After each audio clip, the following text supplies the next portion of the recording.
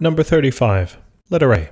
Calculate the number of cells in a hummingbird, assuming the mass of an average cell is 10 times the mass of a bacterium. Okay, so let's work with letter A first. All right, so we have to calculate, so what, we're, what we want to know is the number of cells in a hummingbird. Okay, and they say uh, that we want to assume that the mass of an average cell uh, is 10 times the mass of a bacterium. So I need to know the average mass of a bacterium. If you look back in the text, it should give that value to you. Uh, the mass, the average mass of a bacterium is about 10 raised to the uh, negative 15 kilograms. Okay, so that's the mass of a bacterium. So now it tells us, though, that the mass of um, one of the cells, right, in the hummingbird is going to be 10 times this mass. So what we can do now is we can take the 10 raised to the negative 15 kilograms and multiply that, which is, by the way, the kilogram, right? That's the mass of a bacterium. And multiply that by 10. And that'll now give us, so be, this would be 10 raised to the negative 14. And this would be the weight in kilograms per one cell in a hummingbird. Okay, now what we need to do is we need to now find, uh, by using this, by using uh, this ratio, we now need to find the number of cells in a hummingbird. Well, but we now need to also know, right, in order to answer this, we also need to know um, the average mass of a hummingbird.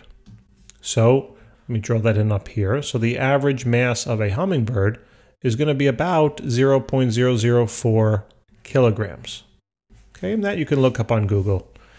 Um, okay, so now if I know the average mass of a hummingbird, and I also know the uh, mass of a single cell, then I can find now the total number of cells. Right, so first thing I, I'm going to want to do is kind of flip this fraction. Um, reason being, I'll write it here on the left. One cell hydrogen. Uh, excuse me, one cell, the H represents hummingbird. So one cell of the hummingbird weighs 10 raised to the negative 14 kilograms.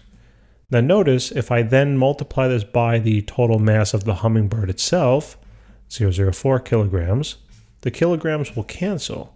And this will now tell me the number of cells that are in the hummingbird. So that's the ending unit right? Oop. Number of cells in a hummingbird. And all I now need to do is take out my calculator, 0.004, and divide it by 10 raised to the negative 14. So this works out to approximately 4 times 10 raised to the 11 cells. Okay, wonderful. So that's that takes care of part A. Now for part uh, B. It says making the same assumption, how many cells are there in a human? Okay, well, making the same assumption that the average mass of a cell in a human is 10 times the mass of a bacterium. So what that means now, for part B, is I can write that 10 raised to the negative 14 kilograms is equivalent to one cell in a human. Okay, I also need to know the average mass of a human. So let's just assume that the average mass of a human is 75 uh, kilograms. All right, so now what I can do is I can do the same thing I did before. I would essentially have to flip this ratio. Why? Because I need the cells, I want to calculate the number of cells, so I need them in the numerator. So one cell of a human weighs 10 raised to the negative 14 kilograms. Now, if I take that and then multiply it by the average mass of a human, I can then find essentially the average number of cells because notice the kilograms cancel, leaving me with cells. Okay, so that's going to be the unit here, cells in a human. And now all I need to do is the math. Right, so 75 divided by 10 raised to the negative 14. Okay, and this comes out to a tremendously large number. Works out to be about uh, 7.5 times 10 raised to the 15. So that would be the approximate number of cells uh, in a human. All right, guys, hope this video helped. If it did, please do remember to subscribe. And until next time.